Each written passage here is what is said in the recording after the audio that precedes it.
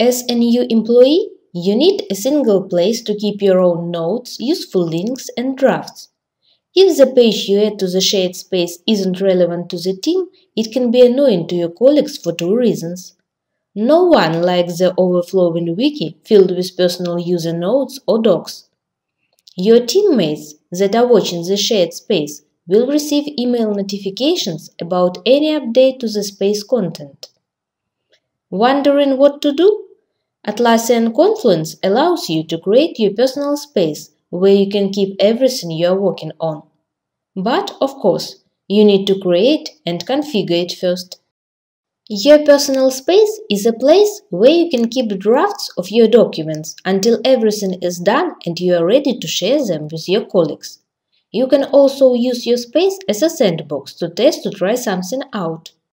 To create a personal space, click your profile picture at the right side of the Confluence header and choose the Add Personal Space tab.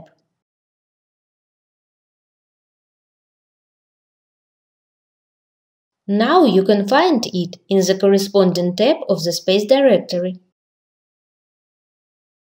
You can also access your personal space using the Personal Space tab of the User Profile menu. When you create a space in Confluence, you automatically become its administrator. So you have the space admin permission for your personal space. This permission allows you to use all space administration tools, including permissions and templates. You can easily change the look and feel of your space or even delete the space. For example, the Space Administrator status allows you to configure your space's sidebar. Let's hide the profile link and change the type of the page tree.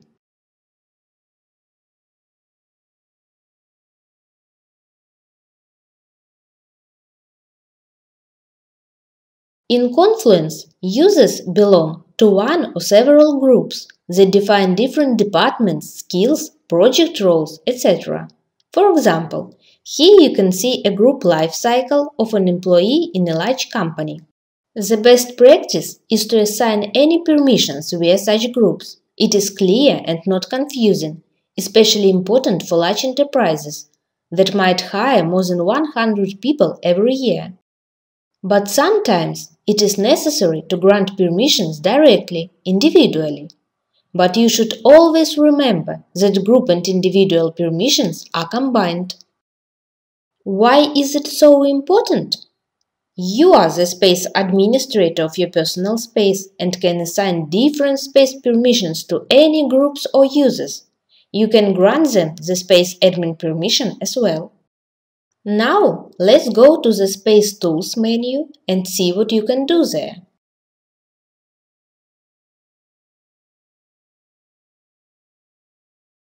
Here you can see the main details of the space, its name, key, creator and administrators.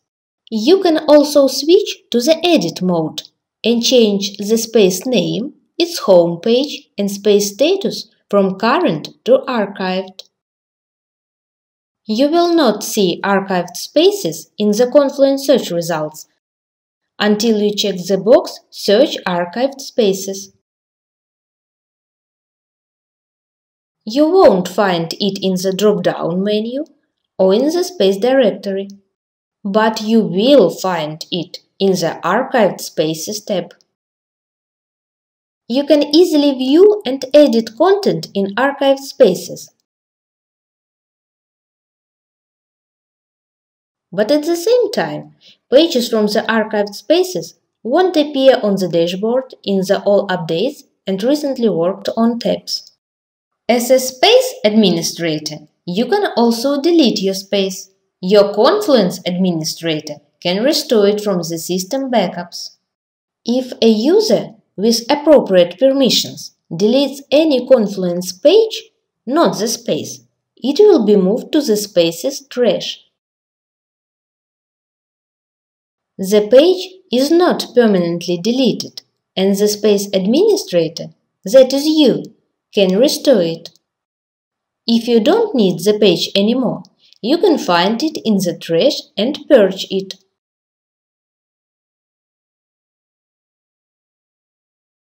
Note that the restored page appears at the same level with the home page of your space. So you need to go to the Space Tools menu, click the Reorder Pages tab, find the page and move it to the appropriate place of your space. As we have mentioned before, group and individual permissions are combined.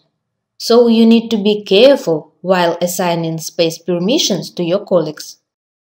Now let's go to the Permissions tab.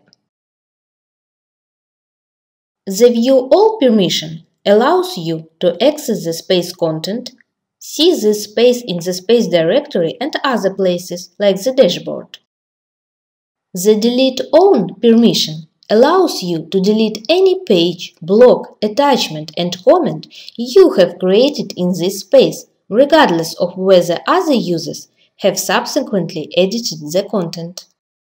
The Add Pages or Blog permission allows you to edit existing pages or blog posts in the space, assuming they are not restricted for you to edit.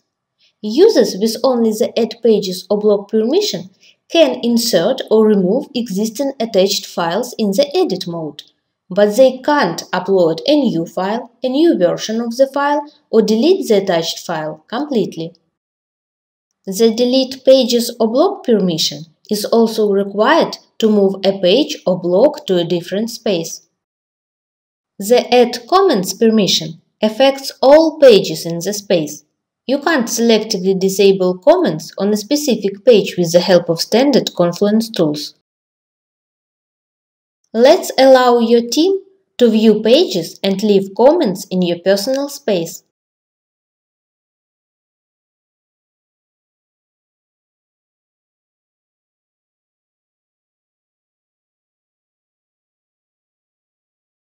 Note that your system administrator has system-wide administrative permissions. He or she can easily view all the content, despite your locally assigned space permissions. The next interesting tab is Look and Feel. Here you can easily change the space color scheme or add space header or footer. All these settings are intuitive but if necessary, you can always read Atlassian documentation.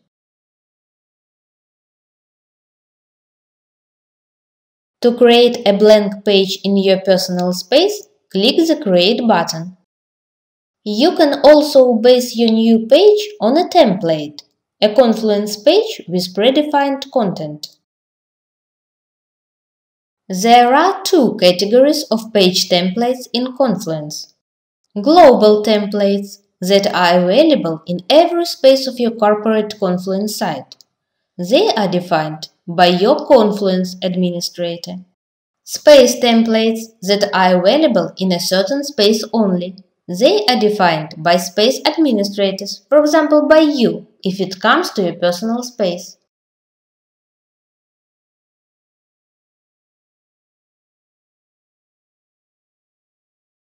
Let's create a new blank page for your personal notes.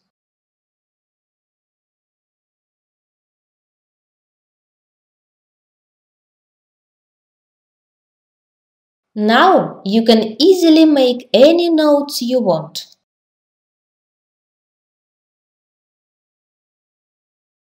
If you want to structure your page, you can use layouts. However, the column width is fixed. If you need more than three columns or want to specify certain columns width, use the section and column macros. The section macro defines an area that will contain your columns. Note that you can add as many sections as you like. You can insert column macros within your sections and add as many columns as you need.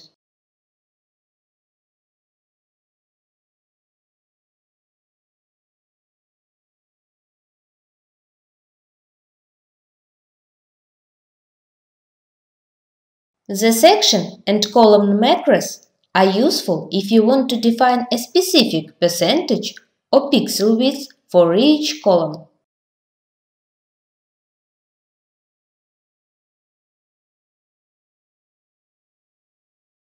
You can also choose to show border around your section and columns. The Atlassian team notes that you should always have at least one column macro within your section macro, otherwise it will impact the page load time. And don't forget to use some headings that will help you to highlight your page content.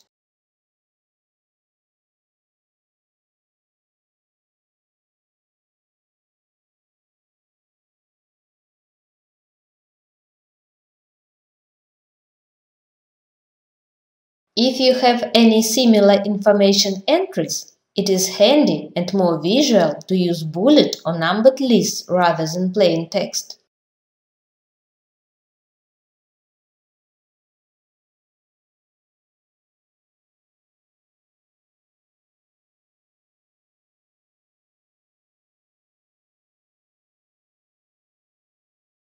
If you want to share additional files or documents, you can attach them to your page.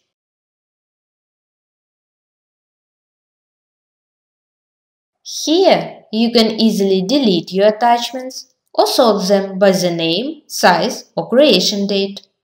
You can also drag and drop files directly to the page while viewing or editing it. Or you can go to the Insert menu, the Files and Images tab and upload a file in the Edit mode.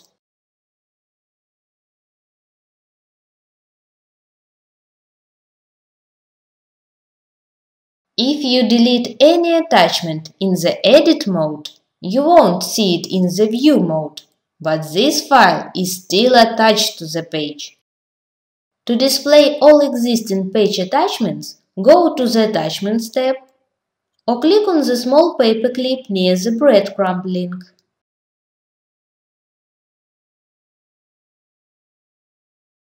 If you want to list or filter all the attachments in the space, go to the Space Tools, Content Tools, Attachments.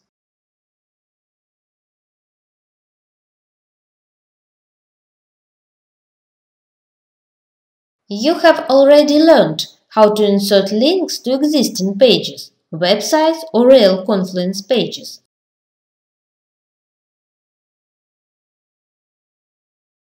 But you can easily add links to pages that don't yet exist in Confluence and you intend to create them later. Such links are known as links to undefined pages. They allow you to create a link that, when clicked, will create a page with the name you specify in the link field. A link to your undefined page is in dark red. To view a list of the undefined links in a space, go to the Space Tools menu, choose the Content Tools tab, and open the Undefined Pages tab. Here you can click the link, create your page, and add content to it. Now you can easily reorder pages in your space if required.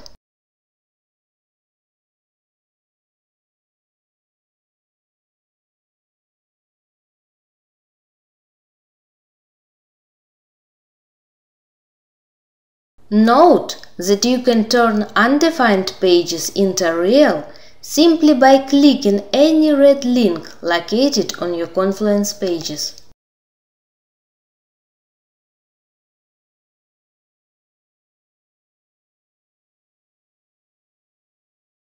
The color of the link changes back to standard if the page was created and can't be considered as undefined anymore. Links to pages that are in the trash are not considered as undefined links and don't appear in the Undefined Pages tab. Sometimes you need to use information from other pages in your personal or current project space. Of course, you can just copy it, but the original page may be edited multiple times and it's rather annoying and time-consuming to check all the content manually. And there is a perfect way out. Use the include page macro. This handy macro displays the contents of one Confluence page or blog post on another page or blog post. Any changes to the original page automatically reflected on your page.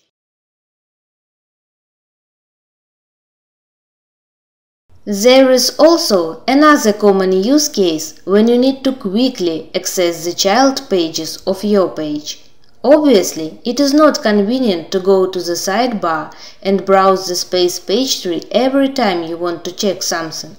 Or, for example, you want to view certain pages and their descendants from other spaces while working on your current project. For such cases, Confluence offers the Children Display macro that lists the child pages of a page and its further descendants, children's children, women. People viewing the page will see only the links for pages that they have permission to view. Now, let's log into Confluence as your colleague, find any page from your personal space and comment it.